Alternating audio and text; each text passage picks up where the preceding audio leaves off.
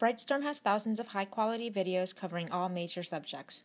Please check out more at www.brightstorm.com. This pencast is about evaluating rational exponents or fractional exponents and roots on your calculator. Because as much as we practice doing them in our heads and finding shortcuts for simplifying, sometimes you just want to know, like, what is the cube root of 125? Um, so in this particular pencast, we're going to be focusing on one that we know. The cube root of 8 is the same thing as 8 to the 1 third, and we know the answer should be 2.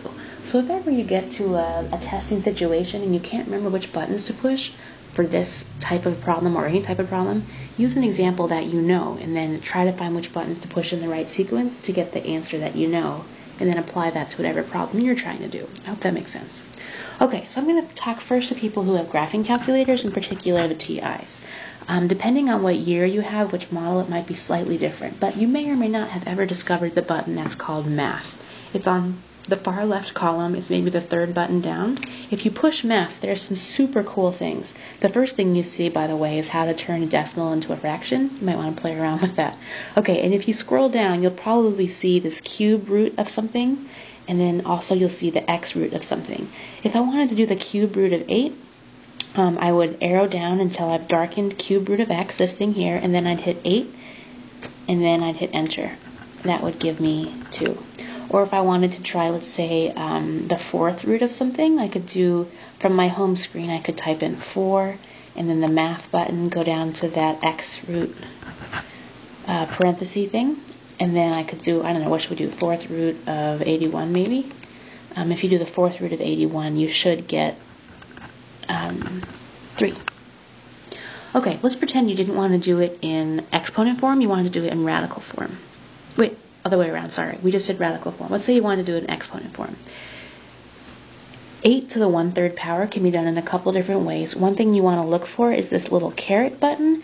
Um, it's on the far right side and it's above the division sign. So if I wanted to do 8 to the 1 third power, a lot of students will type this in. This is actually not right. 8 arrow up 1 divided by 3. And if they get then they get the answer 2.66. Huh? That's not right. What happened is your calculator did order operations. It did the exponent first, then divide by 3. That's not what we wanted. What we wanted was 8 to the 1 third power. So you need to type in there 8 and then the exponent up thing and then 1 divide by 3. And that'll give you the answer two.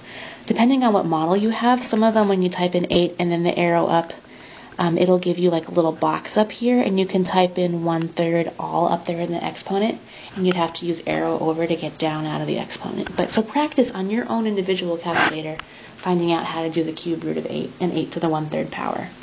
Now let's talk about scientific calculator people. Same thing with phone. If you're like some of the turkeys in my class, you might not even have a calculator. You just do it all on your phone. Great. Um, luckily, your phone, if you turn your iPhone or your smartphone sideways, it does have the capability to do these types of problems. Okay, so on your um, on your phone or on your scientific calculator, find the button that either says x root y or y root x you might have to push the second function first if it's like in a color. If it's in a color above one of the buttons, you have to push the second function to get to it. And then again, it's different for every calculator. So the calculator I have sitting in front of me, um, I know from just experimenting, I need to push 3 and then the x root y button, and then I need to push 8, and that'll give me the answer two. Try that on your calculator. Um, if you get 1.1, oops, 1.147, that means that this is not the right method for you. If you were getting 1.147, that means you need to do the 8 first, and then probably, I'm guessing it's y root x on your calculator, and then 3 to get 2. It's super important that you practice on your calculator that you're going to be using on the test so that you can do it correctly. Okay, so that's the radicals. Let's try um, exponent form.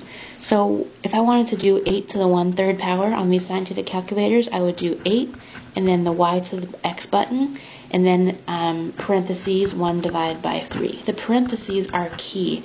If you're doing 8 and then y to the x button and you're getting um, 2.66, again, it's because you forgot parentheses. Your calculator is doing 8 to the first and then divide by 3. We don't want that. So please make sure you're doing parentheses. Practice on your own calculator because it's important to be able to do these in your head, but it's also important to be able to check your work.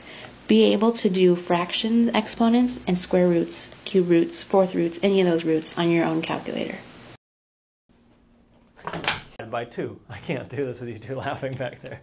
Work it. Work it. So if we had, no, that's not right. Three coplanar points. So have you ever gotten off an airplane? Has to be. Less than. Yeah. Dang.